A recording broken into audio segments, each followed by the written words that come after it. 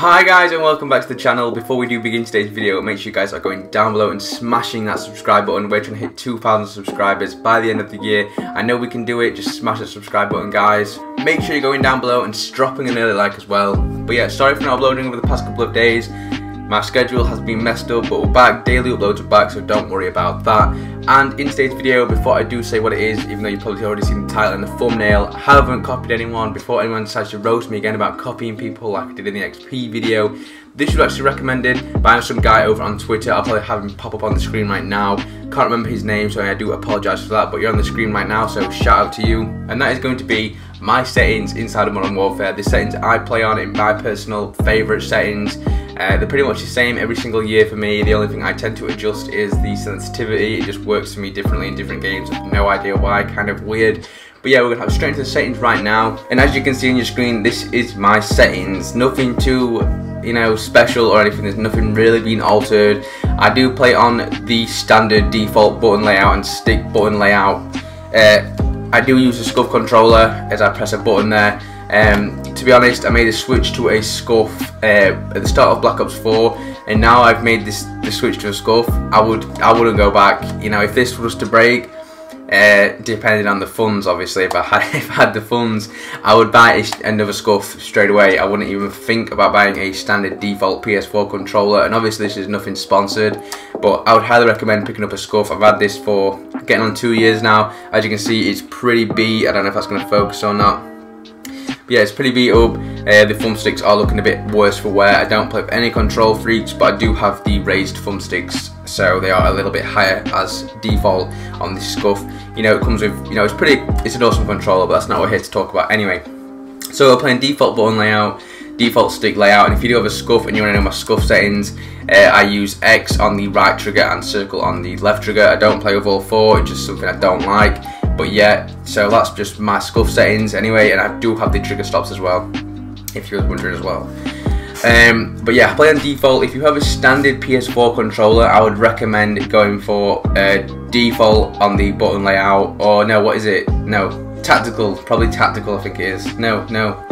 I used to play on tactical, uh, just for the simple fact you can crouch and slide without taking your fingers off the analog sticks but you could go for which one is it stick and move which is probably your best bet. You can jump with the R3 button which gives you the ability to jump shot and stuff without taking your fingers off the analog sticks which is huge in Call of Duty. It always has been. So if you do play with the default controller I would recommend stick and move 100% but uh, like I said, I used to actually play tactical for some weird reason.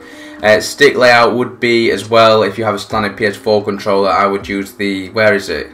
Is it even on here? I've not even been on the settings too much. Uh, but basically, the flipped where you shoot with L1 and R1. Unfortunately, I don't know where about this. It's in the settings. I think it's on button layout. Surely it's on button layout. Is it? No, I don't know. I don't have a clue where it is. Way you shoot with L1 and R1 just gives you kind of, you know, um, trigger stop kind of feel. They're a lot shorter to press. They don't take as long. Uh, so it gives you a slight edge. I used to play with that as well when I did play on the standard PS4 controller. It helped me out massively because there is a little bit of a delay when pressing the triggers. That's why you can get trigger stops on a SCUF. But yeah, I play on default invert look, invert vertical look because I don't know why you would play with this inverted. It's absolutely crazy. I've tried it before for a challenge just with my friends. Absolutely stupid. Dead zone is just standard. I've not altered this 0.05. This is just what I play on. Don't. This has never been in any settings before, so I've never really played around with it. I play on 12 sensitivity, which is probably a little bit high for a lot of people.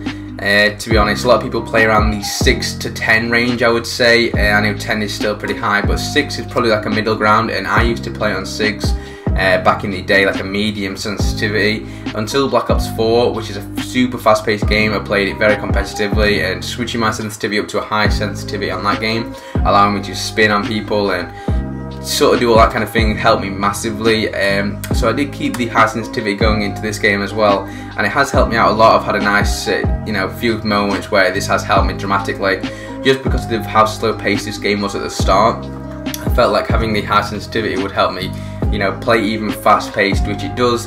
It takes a while to get used to. A lot of people don't like it. They're going to miss a lot of shots, but after you practice and practice with this thing, it'll just become norm. You know, I can hit my shots pretty well with it. I am thinking of uh, knocking it down a little bit just for the simple fact is I do miss some, some shots which I think I probably should uh, you know hit so that's just me personally you know playing bad but I would recommend a not too low of sensitivity to be honest because it's just going to mess you up in some aspects but it's all personal preference sensitivity is up to you guys so whatever you prefer whatever you find comfortable it's up to you. So make sure you find out that right balance. I mean I've spoke about this before. But no I haven't haven't spoke about sensitivity before I made a video on how to improve your aim in Modern Warfare I've never released it so I might release that one. Smash the like button if you want to see that. It's a pretty good video. Uh, ADS sensitivity is on 1 I know a lot of people like to increase this when using a sniper, I think it is. Uh, if you're a sniper, you might want to increase that a little bit, but I don't, obviously, I don't really snipe too much. Uh, aim response curve type is standard. Uh, to be honest, something I've never seen before in settings, so I just kept it standard, how it used to be. So it's pretty cool. I mean, linear, a lot of people do play in linear actually, aim stick maps directly to aim rate. Means nothing to me, it's a different language to me, I just keep on standard, works for me. A big one, big one here, controller vibration disabled. I'll admit, I used to love controller vibration on. If you take this off, your accuracy is going to be immensely better. Sounds so, so strange. But if you think about it, you're trying to control the analog stick and you're vibrating, it's going to actually knock your aim off, which is a, which is, it actually does. I didn't believe it until I tried it. Same thing, it's the only thing I did last year in Black Ops 4. Uh, like I said, I was playing it competitively, so my friend of mine said you need to take control of vibration off if you be a different player. Took it off, and I was a different player, you know. Crazy, I can't stand it now, so I'd highly recommend turning control of vibration off 100%. We have aim assist, which is just standard, you know, traditional aim slow down near target you know, it is one of them things I would uh, definitely not recommend having it disabled. You definitely want to enable. It's going to give you a you know, if you have it disabled, you're at a massive disadvantage basically, you know, you're going to struggle. You don't want it on precision really, unless you're a very accurate player, which is, if, if, even if you're a very accurate player, there's still no point. And focusing, you definitely don't want that down. Oh well, unless you're a new player, I guess. Strong aim slowdown that also kicks in when narrowly missing target. So, I don't know, I just keep it standard, is the best balance to me, to be honest. I've always played on uh, standard aim assist, just, oh, you can, well, you've never been able to change it until now, uh, apart from have it enabled and disabled. So just keep that on standard, you will not go wrong with that. Weapon mount is ADS and then R3, um, or melee as it says there, so that's kind of up to you, whatever you, you kind of prefer. I just have the melee, obviously, because you're already going to have your finger on that button if you need to do a quick mount, which sometimes I mean you do, not very often, but yeah, you know, you never know. So weapon mount, movement, exit, so if you move, it just brings you out the mount. I would recommend leaving this on enabled because you never know when you're to have to get out of a sticky situation. You could start getting shot at and you need to quickly move out of the way of them bullets, so just move and it's to move you. So definitely have that enabled. Aim down sight behavior is hold. I would definitely never have it on toggle. I think PC players do it on toggle I might be wrong, but the only time I played Call of Duty on PC, it was on a toggle setting, so I might be wrong. Uh, but I'm not 100%, so obviously if you hold the aim button, it's going to aim. As soon as you let go, it's going to not aim. So I would definitely recommend having it like that. If you have it on toggle, you're going to click it once and it's going to stay ADS, and then click it again to get off it.